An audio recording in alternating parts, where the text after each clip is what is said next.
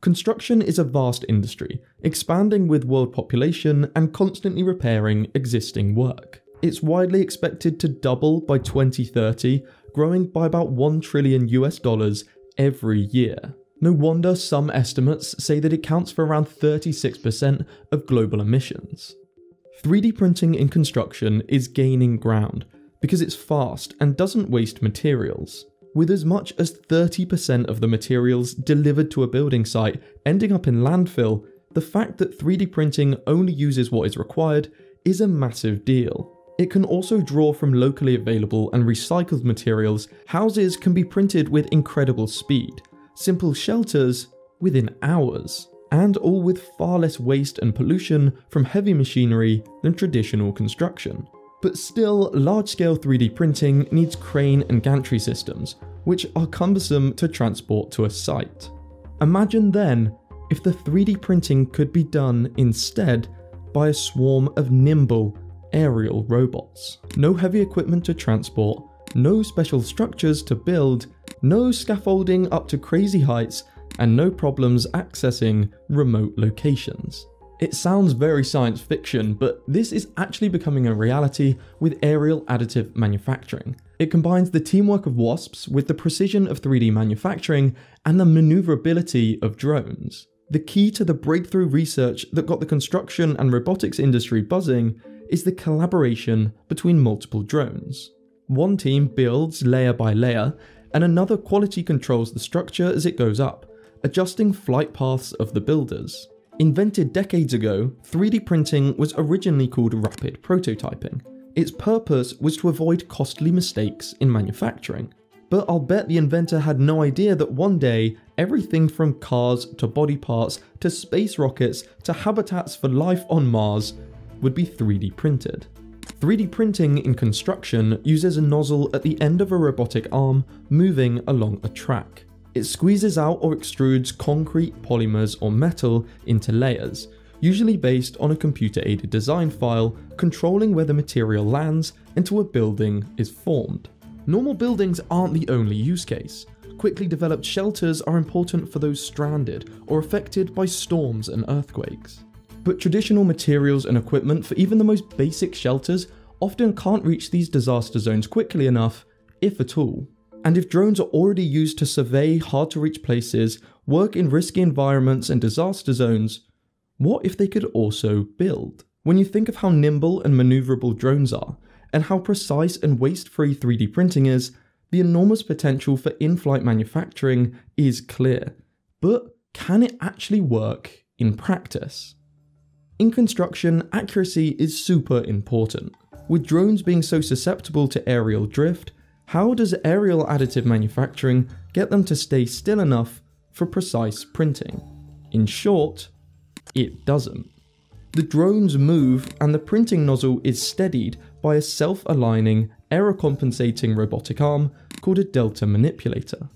This is a huge part of the intelligent system and lets the natural movements of the flying platform occur without compromising the destination of the material they are depositing. This is a gimbal, and what it did for video has strong parallels to what the Delta manipulator system is doing for these 3D printing drones. The kinematics of these robotic arms is mesmerizing. Watch how the central point stays in the same position as the 6 axis arm moves around. To give a demonstration of how this works, I've 3D printed the most basic robotic arm I could think of. And what you will see from this is that a core part of robotics is trigonometry. So before showing you that, I need to tell you about today's sponsor Brilliant, who have an awesome interactive course all about trigonometry.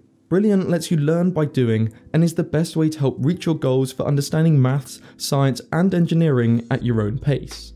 The fundamentals of some really interesting systems can seem very daunting, but with Brilliant, they become accessible to everyone. They have thousands of lessons from the basics up to advanced levels, so soon you could be designing robots too. The lessons are fun to do and available in bite-sized sections so you can fit them around your busy schedule, whether you're a professional, student, or just lifetime learner. As well as fundamentals, there are loads of applied courses, like learning how the large language models of things like ChatGPT actually work, and what really makes a strong password. Whether it's for career progression or your own curiosity, sign up to Brilliant using my link brilliant.org slash ziroth and you'll get 30 days free and the first 200 subscribers will get 20% off an annual subscription. Now let's go back to this simple demonstration. Kinematics is the study of the motion of mechanical points, bodies and systems. Forward kinematics is about finding out where the end of the arm will be given the lengths and angles of each joint, which are normally controlled by servo motors. The tricky part comes in when you try and do inverse kinematics. For this, you work out what angle each joint needs to be at to reach a predetermined point. Part of the issue here is that there are multiple ways an arm can reach the same point, such as elbow up and elbow down. All this gets even crazier when trying to move between two points. Now add a moving drone and more arms and you can see how impressive what this team has achieved really is. I'll leave more information about kinematics in the description, but that's enough for now as it's reminding me of a robotics exam I nearly failed at university. It may come as no surprise that the idea of drones working together to build things was inspired by nature. More specifically, how wasps and bees build their nests and hives, working collectively to form sizable structures made up of individual cells. Bees deposit soft wax in cylinders that dry into hexagons, whereas wasps are even more precise and create hexagonal cells out of layers of chewed, paper like pulp. They both build without a plan, which is all down to stigmergy, which is not a different type of insect. Stigmergy is a mechanism of indirect coordination, often observed in social insects such as wasps and bees. In stigmergy, the trace left in the environment by an action stimulates the next one. Imagine you and some friends are making a big mural on a wall without deciding beforehand what it's going to look like. One of you starts by painting a small tree. Then, seeing that, the next one gets the idea to paint a sun in the sky. Inspired by both the tree and the sun, someone else decides to add a few birds flying around. In this scenario, your drawings or traces left on the wall guide what each of you decides to do next, even though nobody is directly telling anyone what to paint. This is Stigmergy. A combination of this and an underlying blueprint guide the drone swarms. Professor Mirko Kovac, the aerial additive manufacturing project lead, goes as far as to call the bee the holy grail of robotics. Stigmergy is the essence of how teams of aerial additive manufacturing drones collectively build structures without direct coordination. According to University College London, this is the first time drones have ever been used like this to 3D print objects.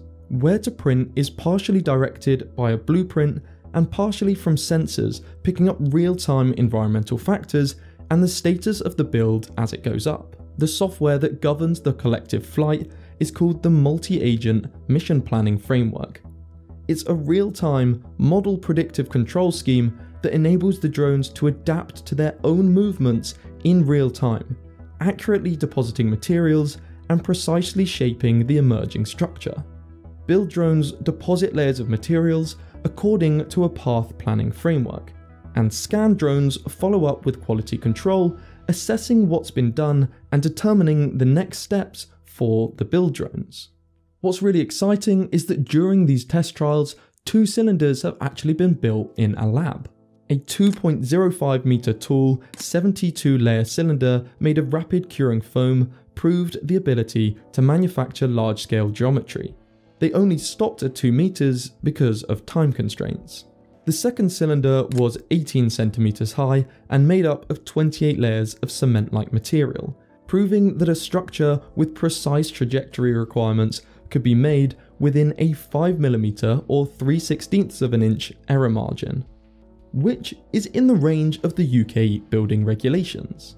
A simulation showed a 15 strong drone fleet building a taller dome-like structure, 15 meters at the base. In this picture, the light painted work of each drone in a different colour shows how the structure grew from individual actions within the autonomous collective system. The combination of precise control algorithms and real-time feedback is incredibly impressive and has made this all possible, but they've also created some novel materials. These materials are born out of necessity. Rapidly drying foam and pseudoplastic, cement-like polymers that are easily extruded by the nozzle but harden into layers at exactly the right rate were created. I can't see foam houses taking off anytime soon, but from what these researchers have already developed, I'm sure there'll be many more material breakthroughs to come. Although a foam house might not be for everyone, a foam shelter could actually be life-saving. The team is definitely ambitious, and even has plans for drones to create 3D printed Martian habitats. Other advantages of aerial additive manufacturing is that it has the potential to reduce errors, because going back to the original purpose of rapid prototyping, as long as the plan is correct, the print should come out perfectly. In theory, anyway. Sometimes my 3D printer does some very unexpected things. It's also highly scalable, as the size of the swarm can be increased and the tasks of each drone can be adapted to different print geometries. It's too early for solid figures, but considering this uses less materials and less infrastructure, I could definitely imagine this being cheaper in the right applications. There's obviously a lot of development needed before this system takes off. Layering within 5mm of the target is highly accurate for flying drones, but might not be good enough for projects demanding total precision. Before seeing what's next for this project, we need to consider the usual drone drawbacks. The regulatory, legal, privacy and insurance boundaries could keep this with its feet on the ground. And then there's weather constraints. Drones wouldn't be able to fly in heavy storms, but then again, printing in general would also have to stop. Some people also fear this could replace jobs, but 3D printing homes, for example, still needs human skills, just new ones required to run new systems.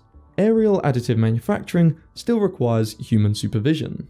Thinking about it in another way, when I used to do manual landscaping jobs, I was never angry when the digger would come along and help out. The biggest challenges though are the payload capacity and battery life. True to its pioneering spirit, the research team sees this as part of the next frontier for when, not if, the drone squadrons venture outdoors into real life. They're working on an automated replenishment system for materials and batteries, which would be very interesting. So what else is next for these 3D printing drones, bringing architects, material scientists and roboticists together? Their stated plan is to work with construction companies to refine the system and provide real repair and manufacturing capabilities.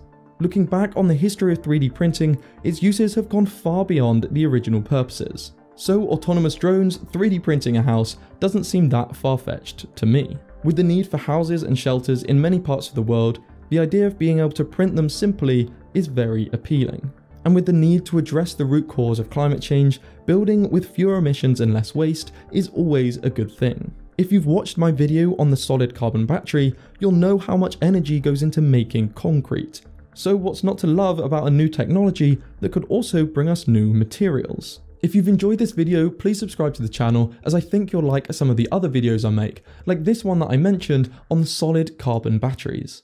And if there's other subjects you'd like me to cover in another video, please leave it in the comments below. Thanks for watching.